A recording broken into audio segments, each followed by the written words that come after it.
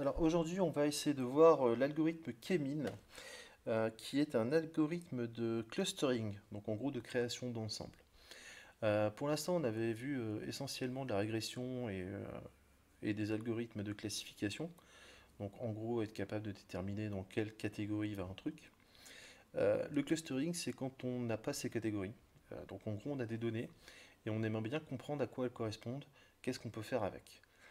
Donc globalement, euh, l'exemple qu'on va voir aujourd'hui, ça va nous permettre de euh, déterminer des catégories sur un jeu de données euh, en imaginant qu'on ne les connaisse pas. Alors, histoire de que l'exemple soit bien parlant, moi j'ai pris un jeu de données dont on connaît les catégories, mais je ne vais pas les passer au modèle. Je vais demander au modèle de me les retrouver et voir s'il me retrouve les mêmes, le même nombre, et s'il met bien les bonnes données dans les bonnes catégories. C'est un peu l'objectif de ça. Donc pour faire ça, on va utiliser toujours scikit-learn euh, et nos petites euh, librairies euh, qu'on aime bien, donc Panda pour les données, NumPy pour tout ce qui est maths, scikit-learn, avec cette fois-ci on va importer donc le, le Kemin, et on va utiliser donc un dataset qui est déjà inclus dans scikit-learn. donc c'est pas un dataset qu'on a besoin d'aller chercher sur le net ou ce genre de choses, c'est un dataset qui existe. Donc qui est, qui est celui des fleurs d'iris. Donc ce dataset, je vais le charger ici. Que je vous explique, en gros, c'est un, un dataset qui catégorise les fleurs d'iris en fonction de la longueur du pétale et du sépale. Alors, on n'a même pas besoin de savoir ce à quoi ça correspond, hein. on a juste à essayer de, comprendre le truc. Donc, on a trois catégories euh, et des données qui, euh, qui déterminent ces catégories. Bien. Nous, ce qu'on va faire, c'est qu'on va reprendre les données, donc la longueur du sépale et la longueur du pétale, ok? Enfin longueur et largeur, pardon, il y, a les, deux. Donc on reprend juste les données, on va venir classer euh, les labels, donc les catégories, euh, on va les sortir du tableau, on va les mettre ailleurs, d'accord? Je prends vraiment que les, euh, que les données, ok? Et après, je vais passer ça à mon algorithme de Kemin. Donc le, le Kemin, donc, qui, est un peu un algorithme qui calcule une distance moyenne entre un centroïde et des points d'observation. globalement, le principe, c'est quoi? C'est euh, qui va nous déterminer des ensembles de données cohérents. Donc en fonction de principes mathématiques. Le seul truc, c'est qu'il euh, ne détermine pas le nombre de clusters, c'est à nous de le déterminer. C'est à nous de lui dire, bah voilà, sur tel jeu de données, je veux que tu me crées 3, 4, 5, 6, 12, 25 ensembles. Sauf que dans le cas qui nous intéresse, et dans la plupart des cas de toute façon, euh, le nombre d'ensembles à créer, on ne connaît pas, vu que c'est ce qu'on veut déterminer. On veut déterminer ces catégories. Donc déjà, avant même de, pouvoir utiliser, enfin on va l'utiliser quand même, mais euh, on va devoir déterminer le bon nombre de clusters, le bon nombre d'ensembles. Et pour ça, en fait, il y a une mesure qui nous permet de, déterminer la, pertinence de notre, notre clustering. C'est ce qu'on appelle WCCS. Donc en français, en gros, c'est la somme des carrés intercluster. Alors on va aller sur le schéma, qui est ici les explications, vous pouvez les lire, mais de toute façon, je vais les reprendre. Donc globalement, ici, imaginons, on a notre algorithme qui nous a créé trois clusters, ok, qu'on voit bien, hein, le bleu, l'espèce de jaune et le vert. Et ici, il y a les centroïdes. Donc c'est le point central du cluster, d'accord? Et le WCCS va prendre, la somme des carrés de la distance entre chaque point d'observation et le centroïde de cluster. Donc, pouf, on prend la distance ici, on la met au carré. On prend la distance ici, on la met au carré. On prend la distance ici, on la met à carré. Tac, tac, tac, tac, tac. Pour celui-ci, on fait la même chose pour celui-là, hop, et on fait la somme de tout ça à la fin. Et ça nous donne une mesure qui nous indique quoi? À quel point, euh, justement, les points d'observation sont éloignés du centroïde. Pourquoi? Parce que globalement, si un point est trop éloigné de son centroïde, ça veut peut-être dire qu'il est mal classé et qu'il y a peut-être une autre catégorie à prévoir. Parce que si j'ai des points, imaginons que j'ai des points qui soient ici, euh, ils seraient soit là, soit là, mais peut-être qu'on pourrait créer un ensemble supplémentaire ici. Et par définition, ça diminuerait la WCSS. J'ai du mal. Ok? Ça, il faut bien le comprendre. C'est-à-dire que l'objectif, c'est d'avoir une mesure de WCSS qui soit, euh, qui soit pas trop grande, la plus petite possible, mais surtout pas zéro. Pourquoi? Parce que la seule manière d'obtenir un WCSS à 0, c'est que chaque point d'observation devienne un cluster, ce qui deviendrait complètement débile. Donc l'objectif, c'est de, déterminer quel nombre de clusters permet de minimiser au maximum, a le plus d'impact sur la diminution de euh, cette valeur WCSS. Donc pour ça, on utilise une technique euh, qui, est, la technique elbow, donc en français la technique du coude. Vous allez comprendre pourquoi en voyant le graphique après. Qu'est-ce qu'on fait? Ben En fait, on va, euh, générer des kémines. Donc on, va, on va générer des, modèles avec une petite fonction globalement, je fais quoi? Je crée un tableau qui va venir stocker mes valeurs, enfin une liste, pardon. Euh, et ensuite, je crée une boucle où je lui dis, euh, voilà, euh, je détermine que tu vas me tester de 1 à 11 clusters. Voilà, au pif, hein, c'est complètement arbitraire, on pourrait mettre n'importe quel chiffre. Et je vais donc créer un algo, enfin, créer un modèle qui va, à chaque fois, donc tester avec un cluster, deux clusters, trois clusters, quatre clusters.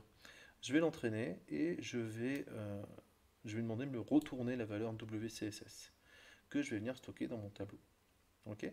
Donc je vais me retrouver avec euh, un tableau qui contient des valeurs euh, pour chaque nombre de clusters et je vais pouvoir faire un graphique. Ce graphique va m'afficher la valeur WCSS par rapport au nombre de clusters utilisés par le modèle. Et bizarrement, il ressemble à un coude. C'est pour ça qu'on appelle d'ailleurs ça la méthode elbow. Et ce qui est important ici, c'est déterminer en fait euh, bah, la fin du coude. Parce que ici, on voit que euh, forcément, au tout début, le nombre de clusters a une énorme influence sur la valeur de WCSS. Hein, en passant de 1 à 2, ça diminue de. C'est divisé par 5, 6, 6 même. Ici, j'ai encore une bonne diminution, c'est-à-dire que c'est divisé quasi par 2, voire ouais, quasiment par 2 même. Et par contre, après, ça diminue, certes, mais toujours plus lentement.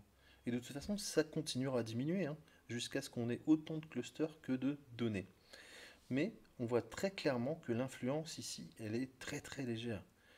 Très très très légère. Par rapport à, ici, on passe quand même de 700 à, euh, je sais pas, 75, j'ai l'impression. Euh, là, on diminue très très très très très très lentement. Très très très très très lentement. Donc on a une diminution euh, qui, qui, devient négligeable. Ça veut dire que globalement, le nombre de clusters optimal, est à cette limite-là, à la fin du coude. Donc pour notre modèle ici, ça serait 3, 3 clusters. Ça semble être le nombre optimal pour que la valeur WCSS euh, soit cohérente. Et si vous vous souvenez, je vous ai dit déjà dès le début que euh, ce jeu de données contenait trois catégories. Donc, rien qu'avec cette méthode, on a retrouvé le bon nombre de catégories, ce qui est déjà pas mal. Ça veut dire que notre modèle est capable de... Enfin, notre modèle. Euh, ce qu'on a fait pour l'instant correspond à la réalité. On a, bien trouvé trois catégories comme dans la réalité. Alors, comme je vous le dis, là on compare parce que c'est plus, euh, simple à appréhender. Mais euh, en général, on utilise Kemin sur des données sur lesquelles on n'a rien à comparer. Mais là, c'est vraiment pour que compreniez que ça fonctionne vraiment, parce que ça nous retrouve des choses qui, ça nous retrouve la réalité.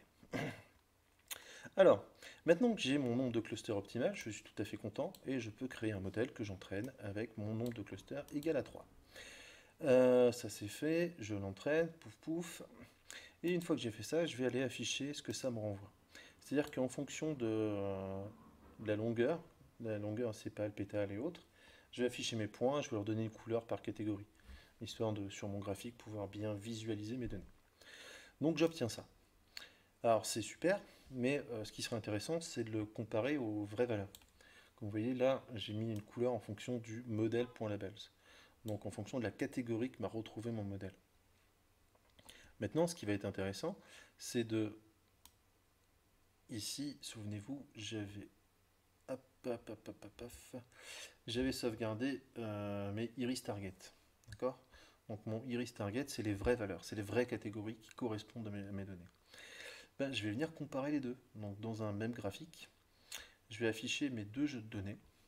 Donc à gauche, c'est le modèle, ce qu'il a trouvé. À droite, c'est la réalité, c'est la vraie catégorisation. Alors que les couleurs soient différentes, euh, c'est normal, parce que le modèle n'a pas forcément euh, choisi les mêmes numéros de catégorie. Enfin voilà, ici, euh, c'est les mêmes, enfin, il m'a bien mis les mêmes données dans les catégories, clairement. Mais euh, ma catégorie ici, elle ne peut-être pas 0. Ou, voilà. Ou elle s'appelle peut-être pas 1. Il lui a donné un nombre, un nombre aléatoire. Mais ce qui est important de voir vraiment, c'est que euh, l'ensemble est cohérent, c'est-à-dire qu'il m'a bien retrouvé mes trois catégories et surtout il m'a classé globalement les données au bon endroit. Donc j'ai bien ici un ensemble de données qui correspond vraiment en plus là pour le coup la réalité, maintenant c'était plus simple à déterminer. Ici c'est à peu près la même chose, on a juste un peu de flou dans cette zone là, parce que c'est la zone la plus, euh, la plus difficile à déterminer pour un modèle. Et même euh, en faisant de l'apprentissage supervisé, il aura peut-être du mal parfois à trouver à trouver où il classe ces trucs-là. Donc globalement, en donnant à un modèle des données brutes, c'est ça qu'il faut, qu'il faut bien appréhender, il a été capable de me retrouver le bon nombre de catégories, de me classer globalement avec une marge d'erreur qui est propre à tout modèle, mais de me classer les données dans les bonnes catégories. Mais voilà, on voit bien ici que les, les séparations sont pas identiques, mais quand même pas loin, quoi. Le modèle, il a fait un travail qui est cohérent. Donc, il a été capable de euh, me recréer une observation du réel, de me recatégoriser des choses sans que je lui dise rien. Sans que je lui dise rien. Et c'est là la force du clustering, parce que dans la catégorisation, euh, en, version supervisée, vous dites à votre modèle, attention, là tu l'as pas bien classé, là tu l'as bien classé, là tu l'as pas bien classé, là tu l'as bien classé. Ce qui fait qu'au bout d'un moment, ben, il s'adapte et il trouve la bonne solution. Là, il le fait tout seul. On ne lui dit pas t'as bon, t'as faux. On lui dit tiens, prends ça et démerde-toi. Et au final, il s'en sort pas trop mal. Voilà, c'était une petite vidéo sur le Kebin. Alors ça fait longtemps que j'ai pas fait de vidéo parce que j'ai pas eu trop de temps ces derniers temps. Euh, je vais en faire encore là 2-3 euh, sur le, machine learning et euh, je suis en train de préparer, merci le confinement, une série de vidéos sur le deep learning, donc deep learning avec TensorFlow 2, que je commencerai à sortir, je pense, d'ici une à deux semaines, parce que je vais essayer d'en préparer deux, trois avant de commencer à les, diffuser. Voilà, bah, bon courage à vous, j'espère que ça vous a intéressé, et puis bah, n'hésitez pas. À bientôt